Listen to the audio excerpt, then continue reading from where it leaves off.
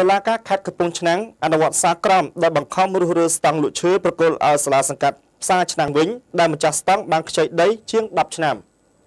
នៅថ្ងៃទី14ខែធ្នូឆ្នាំ2017លោកទីសុរិនព្រះរាជអាជ្ញារងសាលាដំបងខេត្តបានដឹកនាំសមត្ថកិច្ចចម្រុះដោយមានការចូលរួមពីអាជ្ញាធរសង្កាត់ក្រុងនិងខេត្តផងដែរ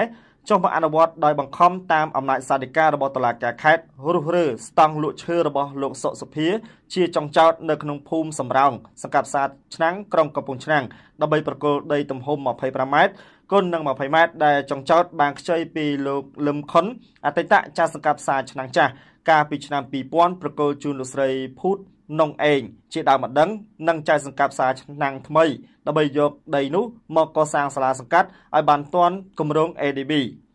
នៅក្នុងសារក្រមបានបញ្ជាក់ថាដើមបណ្ដឹងបានប្តឹងទាមទារសំសិទ្ធគ្រប់គ្រងដីទំហំ25ម៉ែត្រគុណនឹង20ម៉ែត្រនិងប្តឹងទាមទារសំណងថ្លៃខូចខាតពេលវេលាចំនួន5000ដុល្លារដើម្បីយកដីសាលាសង្កាត់មកវិញ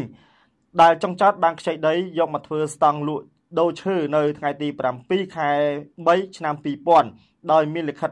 ត្រឹមត្រូវដោយបានសន្យាថាគឺនឹងរុះរើស្តង់ឈើចេញក្រោយពីទទួលដំណឹងមួយខែមុនគឺប្រកុលដីឲ្យសង្កាត់វិញដោយគ្មានការតវ៉ាអ្វីឡើយតែក្រោយមករហូតដល់ឥឡូវនេះមិនព្រមប្រកុលឲ្យសង្កាត់វិញឡើយតម្លៃចង់ចោតលោកសុសុភា បានច្រានចោលការបដិងទៀមទានេះដោយបានបញ្ជាក់ថាដីនេះខ្លួនគ្រប់គ្រងមានទំហំតែ11ម៉ែត្រគុណនឹង21.70ម៉ែត្រដែលបានទទួលពីសមាគមដេប៉ូឈើគឺខ្លួនមិនបានជួលឬក៏ខ្ចីពីសាលាសង្កាត់ផ្សារឆ្នាំនេះឡើយ។ នៅក្នុងសំណុំរឿងនេះតុលាការបានសម្រេចទទួលស្គាល់ដើមបណ្ដឹងថាមានឯកសារនិងសាក្សីត្រឹមត្រូវចំណែកចុងចោតគ្មានឯកសារអ្វីបញ្ជាក់ជាការពិតនោះឡើយដូច្នេះតុលាការបានសម្រេចឲ្យលោកសុសភារុះរើស្តង់និងឈើចេញឲ្យអស់ហើយប្រកុលដីដែលវាវាស់ឃើញដាក់ជាក់ស្ដែងទំហំ10ម៉ែត្រក្បៀស50ម៉ែត្រគុណនឹង21.70ម៉ែត្រប្រកុលទៅឲ្យដើមចោត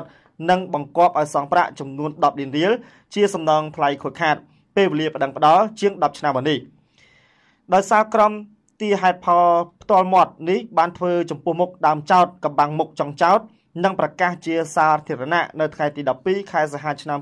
2015ដោយចៅក្រមជំនុំជម្រះលោកស្រីកំលុយក្រោយមកលោកស្រីភូននងអេងនៅចៅសង្កាត់ផ្សារឆ្នាំងបានស្នើសុំឲ្យតុលាការចេញសារក្រមអនុវត្តដោយបង្ខំព្រោះថាសង្កាត់ផ្សារឆ្នាំងបានទទួលគម្រោងធ្វើសាលាសង្កាត់ពី ADB ជួយសាងសង់អគារសាលាសង្កាត់នៅក្នុងពេលឆាប់ៗនេះនៅលើដីសាលាសង្កាត់សប្តាហ៍និងដីដែលកំពុងតែប្តឹងទាមទារបើពុំនោះទេសង្កាត់នឹងខាត់បងចាក់ជាមិនខានព្រោះតែហេតុនេះហើយទើបតឡាការចុះមកអនុវត្តដោយបង្ខំកាលពីថ្ងៃទី14ខែធ្នូ2017នេះដោយត្រូវរុះរើស្ងាត់និងរើឈើចេញពីទីតាំងនេះហើយប្រគល់ដីឲ្យសង្កាត់ផ្សារឆ្នាំងវិញកសាងសាលាសង្កាត់តាមគម្រោងឲ្យបានទាន់ពេលវេលា